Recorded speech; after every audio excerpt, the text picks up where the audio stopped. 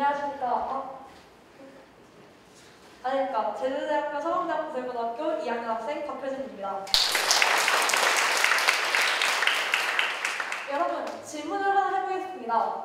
여러분이 좋아하는 것들은 무엇인가요? 뭐 책, 인물, 음식, 상황 전부 상관없으니까 머릿속에 하나를 떠올려 주세요. 저도 같이 해볼게요. 저는 파란, 하늘색을 좋아합니다. 다음으로 왜 그것을 좋아하시나요?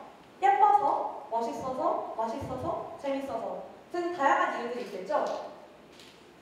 저는 하늘색이 주는 청량한 느낌이 좋고 하늘을 볼 때 느껴지는 상트인 감정이 그 색을 좋아하게 되는데도 영향을 미쳤다고 생각합니다. 그렇다면 마지막으로 하나만 더 물어보겠습니다. 왜 그렇게 생각하시나요? 왜 예쁘다고, 맛있다고, 멋있다고, 재밌다고 생각하시나요? 청량하다는 건 무엇일까요? 저는 왜 많은 색깔 중에서 청량해 보이는 색깔을 좋아할까요? 어떠세요?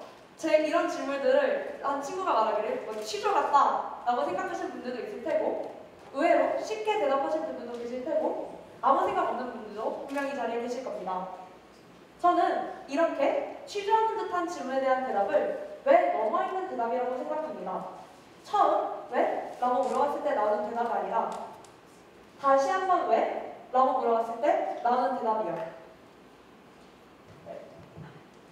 사실 감정은 사람의 행동의 이유이자 생각의 이유입니다. 그리고 사람들은 감정에 대해서 물어봤을 때는 쉽게 답합니다.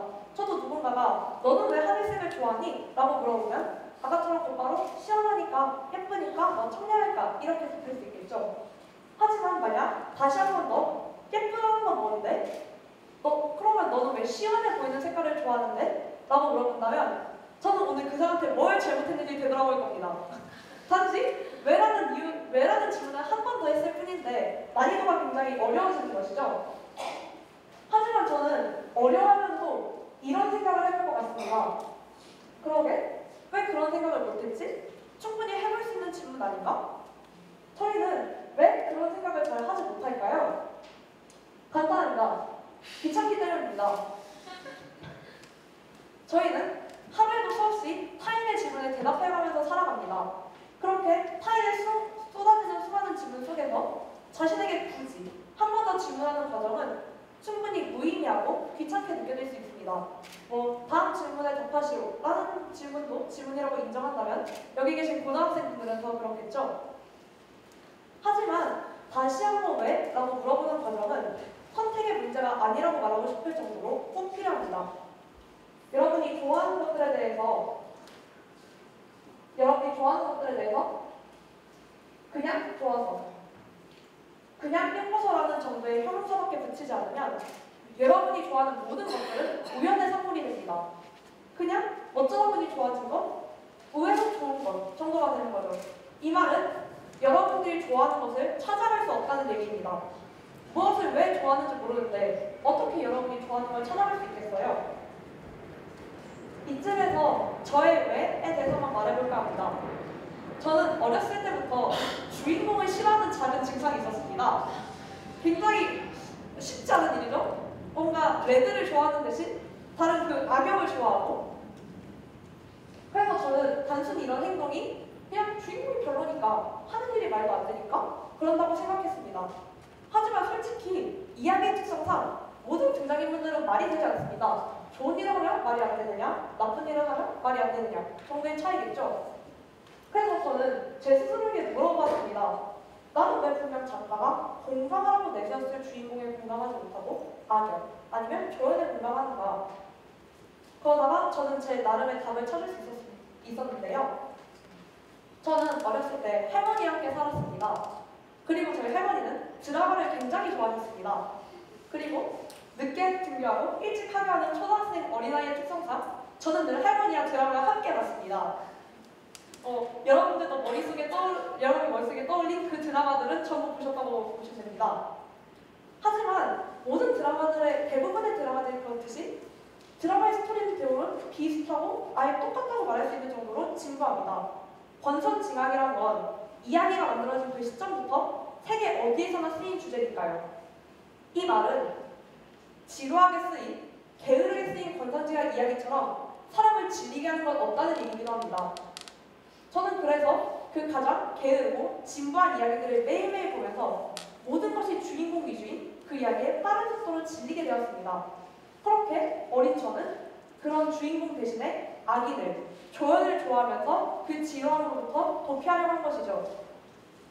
여기까지 답이 닿자 저는 제가 싫어했던 게 주인공이 아니라 주인공 중심의 게으른 서사라는 것을 알게 됐습니다. 그래서 저는 그 이후로 흔한 이야기의 주인공을 주인공을 싫어하고 조연을 좋아하는 것에서 재미를 찾지 않습니다. 새롭고 신선한 이야기를 있는 힘을 다해 찾으려고 노력하고 그 이야기의 주인공을 응원하면서 재미를 찾죠.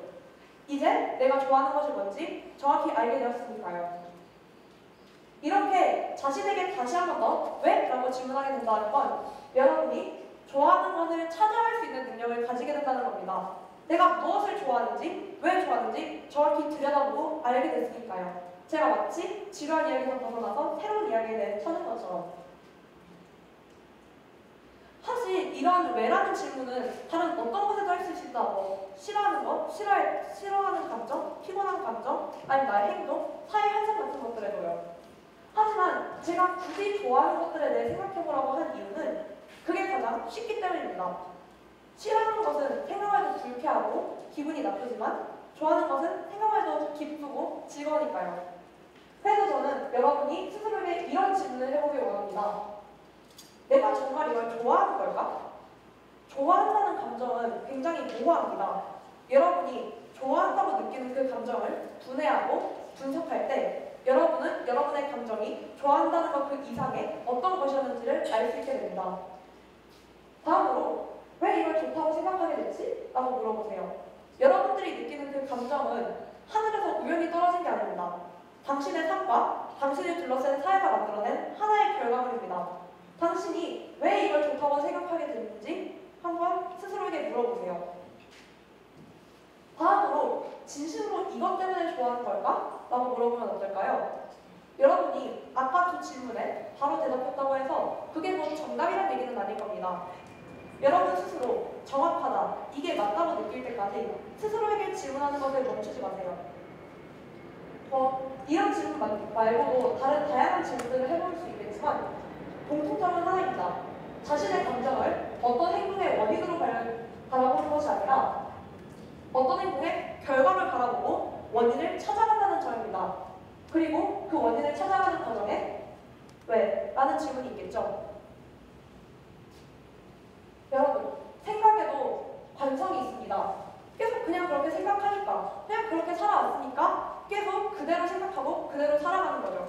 생각하는 대로 살지 않으면 하는 대로 생각하게 된다. 라는 유명한 말처럼. 다시 한 번 왜? 라고 질문하는 건 이 관성에 브레이크를 거는 일입니다. 잠시 하는 일을 멈추고 왜? 라고 질문하세요. 자신이 어디까지 왔는지, 어쩌다 여기까지 왔는지, 앞으로 어디까지 가야 할지 생각하세요. 이 과정은 분명히 힘들고 어렵습니다. 그렇기 때문에 제가 좋아하는 것에 대해 물어보는 것부터 시작하라고 하는 것입니다. 그래서 저는 이 강연이 끝나고 나중에는 여러분이 제 질문에 대답할 수 있길 바랍니다. 여러분은 무엇을 좋아하시나요? 왜 좋아하시나요? 왜 그렇게 생각하시나요? 하- 한번 이 강연이 끝나고 나서도 생각해 주시고 대답해 주셨으면 좋겠습니다. 감사합니다.